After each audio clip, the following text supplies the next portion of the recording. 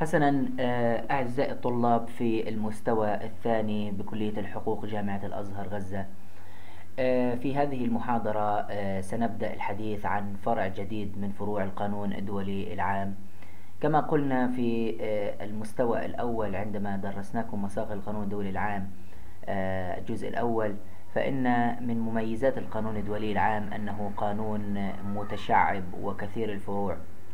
فيوجد هناك الكثير من فروع التابعة للقانون الدولي العام آه، مثل القانون الدبلوماسي القانون آه، الدولي الاقتصادي القانون الدولي الإنساني القانون الدولي لحقوق الإنسان وغيرها. إحدى هذه الفروع الهامة أو المهمة عفوا القانون الدولي للبحار. والقانون الدولي للبحار يمكن أن نبدأ قولنا بأنه هو قانون عرفي من حيث طبيعة نشأته.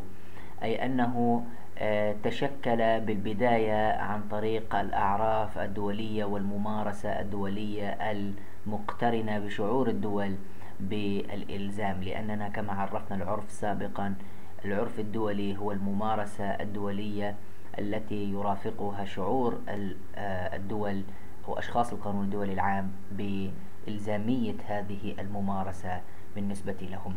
آه، القانون الدولي للبحار كما قلنا هو فرع من فروع القانون الدولي العام فرع كبير فرع متطور. يمكن القول بأن كثير من المسائل المعروضة على محكمة العدل الدولية كانت تخص النزاع آه، الحدودي في ما يتعلق بالبحار ما بين الدول.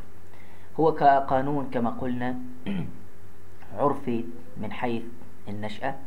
نشأ في شكل كما قلنا أعراف دولية. حتى القاعدة الشهيرة التي تتكلم عن مسافة 12 ميل للمياه الإقليمية خاصة بكل دولة من الدول الساحلية هي أصلا بطبيعتها قاعدة عرفية قبل أن تبلورها الاتفاقية الدولية اتفاقية الأمم المتحدة لقانون البحار ومن قبلها اتفاقية جنيف عام 1958 إذا أول السمات التي يمكن الحديث عنها بالنسبة للقانون الدولي البحار أنه قانون عرفي النشأة. هذا القانون آه، جاء ليتحدث عن المشاكل المتعلقة بالبحر. البحر في سابق عهده كان يعتبر بالنسبة للدول الساحلية مجرد وسيط تنتقل خلاله السفن التجارية بالنسبة للدول. لم تكن الدول في ذلك الوقت متنبهة كل التنبه بالنسبة للموارد والثروات الحية وغير الحية. الموجودة داخل هذه المياه البحرية. لكن عندما بدأت حملة الاستكشافات بدأ الأمر يبدو أكثر تعقيدا لأن الدول بدأت تشعر بأنها بحاجة إلى فرض جزء من سيادتها على هذا البحر المطل عليه. وذلك بغية السيطرة على الثروات الموجودة في هذا البحر سواء كانت ثروات حية كالأسماك أو الثروة السمكية بشكل عام أو حتى الثروات غير الحية. من هنا بدأ الصراع ما بين آه، الدول على استغلال مياه البحر. وهنا يأتي السؤال حقيقة ما هي النظريات التي تكلم بها الفقه بخصوص إمكانية أن تفرض هذه الدول سيادتها على هذا البحر؟ هل يجوز للدولة أن تفرض سيادة على البحر؟ المطل عليه مثل سيادتها التي تفرضها على الإقليم البري أم أن الأمر قاصر فقط على الإقليم البري ولا يجوز لها أن تفرض أي جزء من السيادة على البحر. حقيقة الأمر أنه النظريات التي تكلمت عن السيادة على البحر يعني تراوحت بين نظريتين. النظرية الأولى تدعى نظرية البحر الحر والتي تكلم عنها الفقيه الهولندي جروسيوس في كتابه Mare Liberum أو البحر المفتوح أو البحر الحر وفق نظرية الفقيه الهولندي جروسيوس الذي يعتبر أبو القانون الدولي و the godfather of the international law بقول إنه البحر هو عبارة عن ملك شائع يعني جميع دول العالم المالكة لهذا البحر على الشيوع. لا يعرف الجزء الذي تملكه كل واحدة منهم في هذا البحر وبالتالي إذا جاءت إحدى السفن الأجنبية إلى المياه التي تطل عليها دولة أخرى ففي مثل هذه الأحوال لا يجوز لهذه الدولة أن تطردها من هذه المياه على اعتبار أن هذه المياه ملك شائع تستطيع أي دولة وأي سفن دولة أن ترتع فيها كما تشاء. لذلك لا يمكن لأي دولة بأي حال من الأحوال أن تفرض سيادتها على جزء من هذا البحر. إذا هذه هذه النظرية تغالي في آه، اعتبارها للبحر آه، ملك شائع للجميع ولا يجوز لأي دولة أن تفرض السيادة عليه أو أن تفرض السيادة عليه.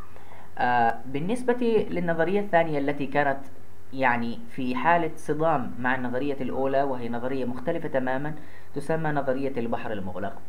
وهذه النظرية قال بها الفقيه الإنجليزي سيلدن وهو بالمناسبة فقيه يعتبر بأن الدول تستطيع أن تفرض من باب الاعتبارات المتعلقة بالحماية جزءا من سيادتها على البحر الذي تطل عليه. طبعا وفقا لإمكانياتها. وفي الحقيقة هذه النظرية التي تسمى مارك لوزم أو البحر المغلق آه، آه، تجعل هناك عدم مساواة بين الدول. فبعض الدول التي يكون لديها إمكانيات عالية آه، تستطيع أن تفرض سيادتها على أجزاء كبيرة من البحر. في حين بعض الدول التي لا تملك مثل هذه الإمكانيات لن تفرض أي جزء من سيادتها على هذا البحر. وبالتالي المعيار يبقى غير منضبط في مثل هذه الأحوال.